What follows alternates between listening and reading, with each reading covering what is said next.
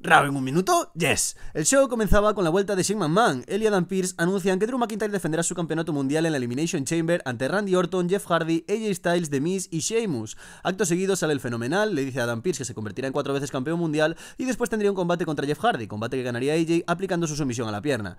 Después el New Day vencería Retribution. En serio que esta rivalidad le viene fatal a Retribution, no hace más que quedar de débiles. Rick Flair y Lacey Evans dan una promo poniendo algo over a Lacey y son interrumpidas por Charlotte, discuten y después tendrían una lucha entre ambas. Buena lucha que acabaría perdiendo Charlotte Flair por descalificación al ensañarse con Lacey.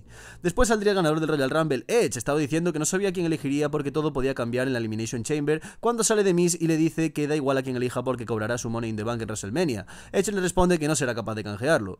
Acto seguido, Ángel Garza, que ahora es amigo de Missy Morrison, se enfrentaría a Damien Priest, que saldría otra vez con Bad Bunny. Este seguiría viéndose imponente y le ganaría al mexicano. Drew McIntyre diría en backstage que está muy concentrado para llegar a WrestleMania como campeón de la WWE. Entrevistan también a Bianca Belair, sale Asuka y la IST le dice que se preocupe primero por Elimination Chamber. Keith Lee vencería a Matt Riddle en un buen combate y acto seguido Bobby Lashley destrozaría a ambos. Tendrán una triple amenaza en Elimination Chamber por el campeonato de Estados Unidos, pero ahora mismo Bobby Lashley está para un campeonato mundial.